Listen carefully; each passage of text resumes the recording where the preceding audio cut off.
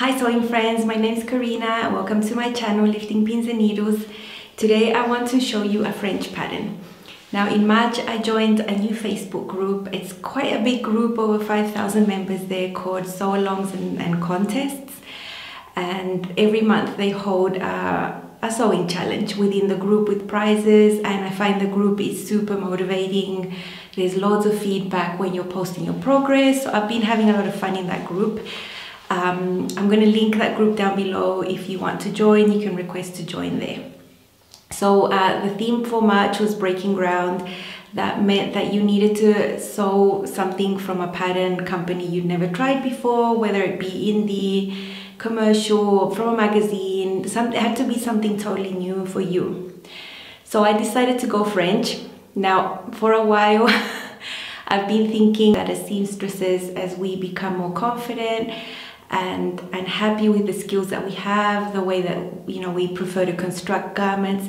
I think we should broaden our horizons and seek other alternatives and challenge ourselves and challenge our minds. So i don't speak french. I do speak english portuguese and spanish and that gives me a good mix to understand some words in french although i don't you know read or speak you know um, but yeah, I decided to go for it. Uh, the pattern company is Republique du Chiffon, and I already like the name of the pattern company, you know, Republic of Chiffon. You know, who doesn't want to live there full of chiffon, you know? And um, the pattern is the Paula top. Now it was a gamble to see whether this top was going to suit me. Uh, I'll put some pictures here. It's a very simple top with grown on sleeves, very boxy with a tie on the front. Um, the pictures there of the model on the website um, are very different to me, you know, to my body type.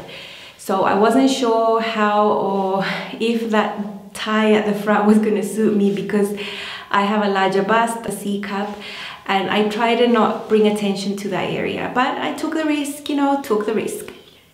Now, European sizing, usually these pattern companies don't have a broad range of sizes and uh, Republique du Chiffon have sizes 34 to 46 European and that is a 30 and a half inch to 41 inch bust and hip of 34 inches to 43 and a 30 inches. Now I had to convert these because the information you find that is all in centimeters, which for me is awesome. You know, I like centimeters, but I just wanted to give you the equivalent. There was no finished garment measurement stated, but as I saw, the pattern uh, looks like has, you know, a lot of ease. It looks quite boxy, but according to the measurements, I cut out my size 46, which is the largest size there. They recommend light to medium weight wovens, you know, rayon, chambray, linen, that sort of thing, even silk.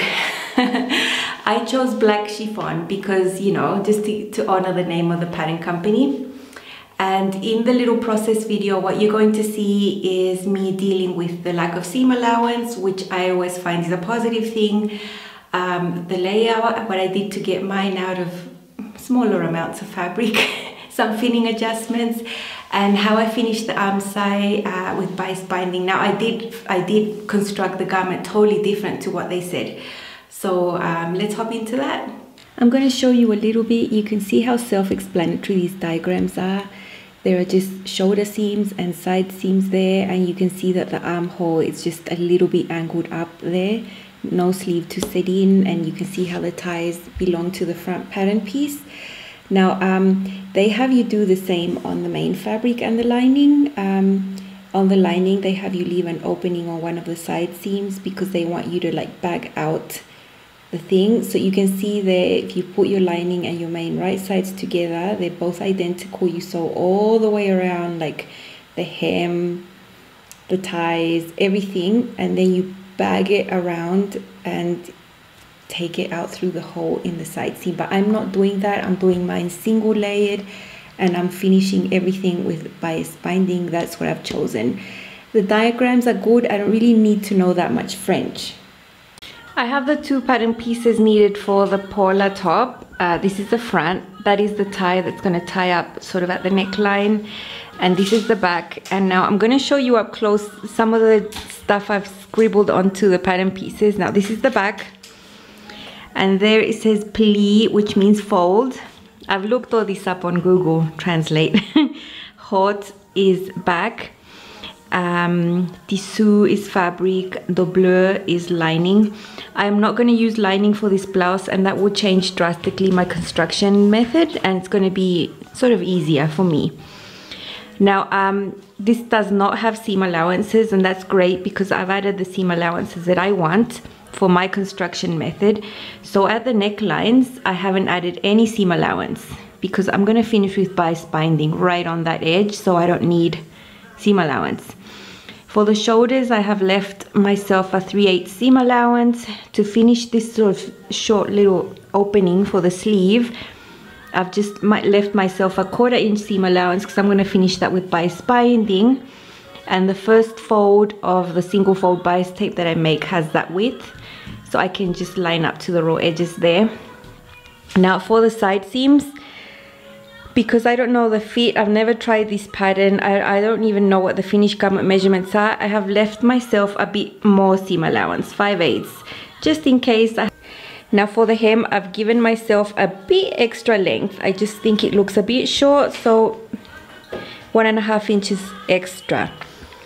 Now for the front, I've left myself the same seam allowances for the side seams, the shoulders, the opening for the arms, and all this neckline and all of this tie thing, this also has no seam allowance. So um, this is like a middle, but it, it finishes loose. It's not sewn in the middle. So I don't need seam allowance because I'm not doing a lining. If I were to line this I would have to add myself seam allowance everywhere. But you'll understand what I'm talking about later. Now here devant means front this is my layout. That is the fold. It says pli there so I put my back there on the fold. And on the other side is the selvage. Now I've got my front piece right up to the selvage and the tie comes right up to there. And I've had to shorten my tie by like half a centimeter. It won't affect anything. And from all that area over there I've got to make a lot of bias binding. Now I've already sewn the shoulder seams but I tried it on and it was very loose around the bust and the waist so I've drawn a new side seam and I'm going to take it in on both sides. I'm also going to shorten that little bit there of the sleeve. I'm going to show you how I'm going to finish this armhole. Um, it, it's not shaped like a normal arm side. It's more just like a straight sleeve coming out of the side seam there. So from the side seam, it's just basically straight up like that. So um, I have pinned my bias binding there, uh, right sides together I'm going to use the first fold of the bias tape to sew on and I'm going to close up so you can see this intersection right there. This is the intersection I've been talking about that I've got with pins. As you can see the side seam is there pressed open. I don't want to sew over that so I'm going to flip that to one side, flip everything to one side and I need to put my needle right at that point. That's where I start sewing on the bias tape. And then I go all the way around the armhole um, you know at that quarter inch seam allowance where that first fold of my bias tape is. When I get to the other side or to finish I have to flip that that way so I don't catch it. I want it to be free that seam allowance there for the side seams and I need to end precisely at that spot right there so um, that is what you're seeing now very close up shot um, this is the slowest part. I do a bit of hand wheeling at the start and then I can just whiz through the whole armhole. Um, you know, as you can see, it happens in two seconds. I'm following my press line from the bias tape and then when I get to the end you can see my mark there of my pin. I'm flipping that seam allowance to the other side. I don't want to sew over it. And here I'm going to hand wheel the last couple of stitches to make sure I'm precise and I'm not back stitching. I am leaving the threads loose so I can pull it through the other side and do it, uh, a hand knot. So it's more delicate. So that's where I finish there. Here you can see I flip the bias tape around and those two flappy bits there I have united them there with a pin. Now I'm going to open that so you can see. I need to sew that up to that same point intersection right there but it's too fiddly to do it by machine so I'm just going to stitch it by hand. It's a very very short area and here you can see it's been magically hand sewn and I've trimmed the other one that was a bit longer so now that area has been um, closed together and everything's going to be nice neat and closed right there. So now this gets really fiddly. My fabric choice of course makes it harder but um, basically you need to fold that under like that. Um, and then fold your bias tape on the fold line there and then you sew around there. You have a few pivot points to sew here you can see it's magically all been pinned ready to sew. And you can see that area there where I'm going to need to pivot. That's the area I just hand stitched and this is the most delicate area of this part of the construction uh, of the garment really. Just because I've chosen to do it that way. So you can see me stitching on the bias tape. Now I am sewing on my wrong side of the fabric just so I can have more precision with the bias tape. Here you can see me taking out pins almost as I'm almost on top of them. I get to this point there uh, where I have to pivot. So I just leave my needle there. I take out all these pins because they're going to bother me. Um, and then um, with my seam ripper, I'm going to help myself to keep these areas flat there while I sew. They do want to shift around and move. I could have hand basted this down, but I just didn't feel like doing that today. I would do it for a more precise result, but I think I can manage the fabric okay. Uh, it does shift and slide everywhere. Um, then you have that other pivot point there um, where you raise your, th your thing, put it back down. And then once you're past this, then it's just straight sewing basically, just keep going. Now you see me throw pins around everywhere. Uh, as I sew, I'm just like flipping them where they go. That's how my table looks after I'm done. There's just pins everywhere. I pick them up. okay, so you must think I'm crazy. Why did I do all that? Well, two reasons. Uh, if I would have lined it and did it, you know, in a double layer and bagged it out, it was very simple. I mean, the, the diagrams on the instructions were super, super clear and super simple. And it would have probably taken me less time than making yards and yards and yards of bias tape and going through all that trouble. but first, I didn't have that much black chiffon to cut two pieces or like out of everything. And the other reason, I don't need that extra layer. I don't want two layers of stuff on me. I am hot, it is hot. I just want a loose thing that feels like I'm wearing absolutely nothing but gives it something extra to my wardrobe. So those are the reasons and that's why I did it like that. Now about the lack of seam allowance, I don't, I am not kidding you. I jump up and down with that because I love adding my own seam allowance. Um, different areas of garments are easier to construct if you have different seam allowances. So when they just chuck on a 5 8 everywhere, even on necklines, I'm like, ah, you know how hard it is to sew a princess seam with a 5 8 of an inch seam allowance? Know so when i have the freedom and the opportunity to add my own i am super happy. And that's why you saw me add different for this area for the side seams on areas i didn't add because i was going to finish with bias binding. And you know that gives me a lot of freedom and i love that these patterns don't have it. So thumbs up for no seam allowance. Now, regarding the language barrier, there shouldn't really be. If, if you're uh, adventurous and like looking at pictures you can figure it out. You can figure it out and you can learn what front back up and down and on the fold means or lining you know like I'm gonna pop all those words down in the description box because I am not kidding you. Those few words were the only words I needed to know looking at the pattern pieces looking at the instructions to really really fully understand you know the, the pattern so that's good now I'm willing to try German patterns, Italian, like you name it, I'm gonna go for it because language really shouldn't be a barrier for us. We are sewing, sewing is done the same everywhere. The seams are like, seams don't have language. Sewing doesn't have language, you know? So that uh, that's my thought. and we should be more open to accepting different coaches in sewing, the way pattern companies approach their instructions or their patterns or the way they class whether a pattern is, is for a beginner or is it, you know for an advanced sewist. This one for me, I would class it as an adventurous beginner. If you did it my way, I would say intermediate because bias binding is not easy to deal with and get a good, you know, nice finish.